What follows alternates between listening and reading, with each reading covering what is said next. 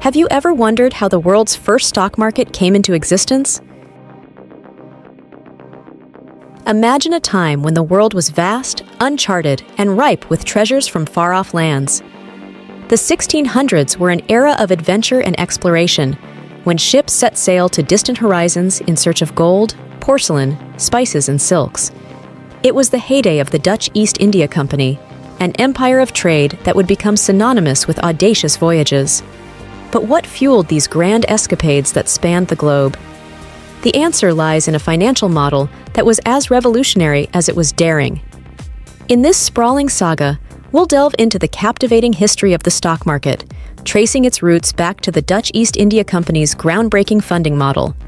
By the time this epic journey ends, you'll not only have a profound understanding of how the stock market operates, but you'll also gain insights into how companies utilize it in the modern age and how it influences the global economy. So, sit tight and get ready for an adventure that spans centuries and continents. The birth of stock markets, a seafaring revolution. Starting with our journey, our tale unfolds with the birth of stock markets, a chapter that resonates with high seas adventures and audacious ventures. Picture the Dutch East India Company, a behemoth in its own right, faced with the monumental challenge of funding global voyages. Imagine a fleet of ships, each a modern day pirate's dream, navigating treacherous waters in pursuit of the world's most coveted treasures.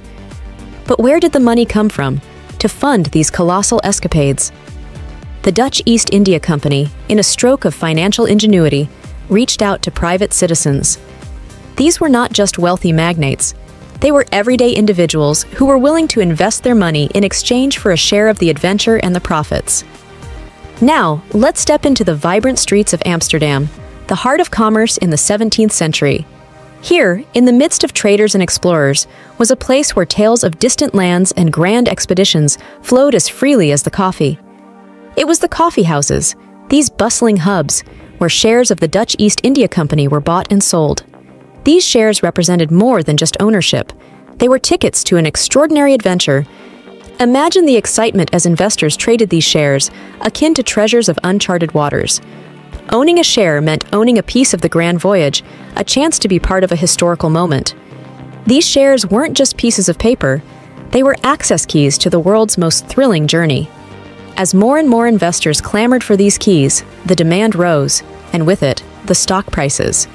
It was the rise of the stock prices that powered the company's market value, allowing them to embark on even more ambitious voyages. However, in this exhilarating story of financial endeavors, there was another side to the coin. If, for any reason, the company's journey seemed less profitable, investors weren't bound to stay aboard. They had an exit strategy, selling their shares. This was like a storm brewing on the horizon. As shares were hurriedly sold, the demand dropped, and the stock prices plummeted. The company's market value, sailing in the same boat, took a dip, leaving investors with heavy losses. It was a seesaw of supply and demand, a precarious balance influenced by various factors. Imagine the market forces as powerful waves in the ocean and the companies as vessels navigating through these unpredictable waters. Market forces fluctuated like the tide, influenced by the price of materials, shifts in production technology, and the ever changing costs of labor. Investors, acting as experienced captains, were not just weathering the storm, they were cautious of changes in leadership, the captain and crew of the company's ship. Bad publicity was like a tempest, capable of wreaking havoc on a company's reputation. Add the looming shadow of new laws and shifts in trade policies to the mix, and you had a perfect storm of uncertainty. Now, introduce the human factor. Many investors were like adventurers setting sail for personal interests. They sold their valuable stocks to fund their own quests. Imagine an investor selling their stock to embark on a world tour, purchase their dream home, or support a cause they were passionate about.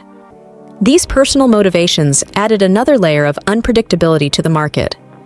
The result was a symphony of market forces and personal choices, a daily cacophony of variables that could make companies appear more or less successful than they actually were. In the stock market, perception often became reality, and the appearance of success was as crucial as actual success. The confidence of market participants held the power to trigger everything from economic booms to financial crises.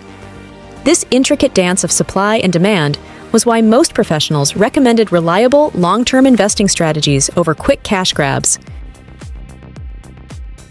Modern day stock market, a digital revolution. Now, let's fast forward to the present, where you'll witness the stock market in its modern day form, a complex and dynamic system. It's not the exclusive domain of the wealthy and powerful, it's a digital arena open to anyone with an internet connection. Companies seeking to enter the stock market follow a well structured path with a touch of red carpet glamour. Imagine the stock market's journey as a blockbuster movie. It starts with attracting the attention of the big investors, the VIPs of the financial world. These investors are like the key players, the ones who can make or break a company's entrance into the stock market. If they believe in the company, they get the first opportunity to invest. Once the big investors are on board, they sponsor the company's initial public offering, IPO. An IPO is akin to the grand opening of a blockbuster movie, complete with red carpets and eager fans lining up for the first show. This launch puts the company on the official public market. It's like throwing open the doors of a magical world to the public, where anyone with an appetite for adventure can buy a piece of the action. The act of buying stocks is like becoming a partner in the grand venture.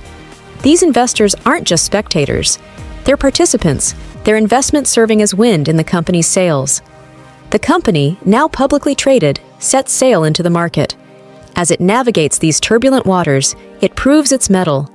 More and more investors may spot the treasure on the horizon, and they too want in on the action. They start buying stocks, which leads to the bidding frenzy. It's like everyone wants the prized item, and the price keeps rising. This surge in stock prices is a reflection of the company's growing allure. For the company, it's a sign of validation. It shows how many people believe in their idea. Conversely, if the company's journey takes a perilous turn, investors might jump ship. They sell their stocks, hoping to make a profit before the company loses more value. It's a decision akin to abandoning a ship in rough waters with the hope of finding safer shores. As more stocks are sold and the demand diminishes, the stock price takes a nosedive. And with it, the company's market value plunges. Investors who didn't disembark in time are left with heavy losses, a reminder of the high stakes in the world of stocks. It's a precarious balancing act, a delicate interplay of hopes and fears, optimism and skepticism. The stock market is a digital amphitheater where the performances are constantly evolving, influenced by a multitude of factors. The companies are like actors on a stage, and the audience, made up of investors, watches their every move. They're attuned to market forces, the tide of material prices, the wind of changes in production technology, and the shifting sands of labor costs. If they sense a storm on the horizon, they might choose to leave the theater, if you like our video so far, don't forget to hit like and subscribe.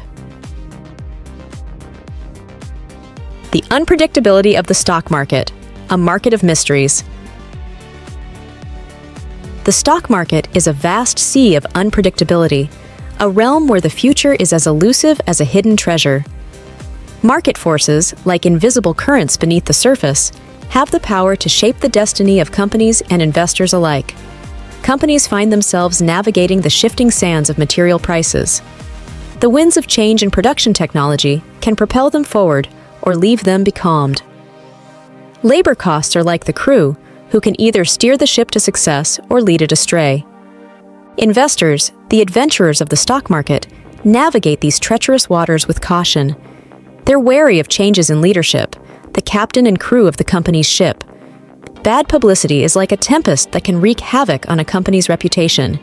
And then there are the broader factors, new laws, and trade policies, like sea monsters lurking in the depths, capable of causing havoc. Yet, there's another layer to this complex saga the human element. Many investors are like explorers eager to set sail for personal interests. They might sell their valuable stocks to fund their own quests. Imagine an investor selling their stock to embark on a world tour buy a dream home, or support a cause they're passionate about. These personal motivations add another layer of unpredictability to the market. The result is a symphony of market forces and personal choices, a daily cacophony of variables that can make companies appear more or less successful than they actually are. In the stock market, perception often becomes reality. If a company appears to lose value, it can lead to an exodus of investors and, in turn, a loss of actual value. The confidence of market participants is the conductor of this symphony, capable of triggering everything from economic booms to financial crises. The stock market is a world of possibilities, where fortunes are made and lost in the blink of an eye. It's this inherent unpredictability that has led most professionals to advocate for reliable long-term investing strategies. In a market that's as changeable as the weather, they've learned to seek shelter in the safety of a long-term plan. The accessibility of the stock market, a new dawn. Now, let's shift our focus to the bright side of the stock market, accessibility. The stock market isn't just for the elite and powerful anymore. It's a dawn of opportunity, where the stock market is no longer an exclusive club for the privileged. With the advent of the internet, everyday investors can participate in the world of stocks just like the big players. It's a new dawn, a democratization of the stock market. Picture this. You're sitting in your living room, coffee in hand, gazing at your computer screen. With a few clicks, you're making investment decisions that were once the domain of the wealthy. It's a new age where information and opportunities are at your fingertips.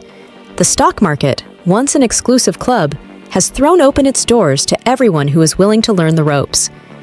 The democratization of the stock market has leveled the playing field. It's a bit like a modern day Robin Hood tale where the riches of the stock market are shared with the common people. The internet is your Sherwood Forest, and you, the savvy investor, can now claim your share of the treasure. It's a remarkable shift in the financial landscape, a revolution that continues to evolve. Access to the stock market is no longer restricted to those with extensive financial knowledge or vast wealth. The barriers have crumbled, and opportunities are now within reach for all. This accessibility has empowered individuals to take control of their financial destinies, to be the masters of their own investment journeys. The democratization of the stock market isn't just a change in the financial world, it's a transformative shift in society. It's a testament to the power of technology to democratize access to opportunities and wealth. It's a new dawn where everyone has the chance to become a shareholder in the global economy, to participate in the growth and success of the companies they believe in. The Origin of the Stock Market An Ever Evolving Tale. You see, the origin of the stock market is a story that blends innovation, risk, and incredible foresight. From the Dutch East India Company's audacious voyages to the modern day digital trading platforms, it has become a saga of evolution. Now, as we close this chapter, remember that the stock market is more than just numbers and charts. It's a living, breathing story of human ambition and enterprise, and you have a part to play in its ongoing narrative. The stock market is a place where individuals, regardless of their background, can shape their financial destinies. Whether you're an experienced investor or just starting out, know that the stock market is a journey, a voyage that begins with the first step getting invested it's an adventure that invites everyone to participate in the ongoing story of commerce, innovation, and progress. So, now that you are enlightened, how will you start your own voyage? Well, the choice is yours, but this video is here to help you know about its history to somehow guide you as well. Well, if you found this video informative, please hit the like button and subscribe for more financial insights and history. Let's uncover the untold stories within the spectrum of marketing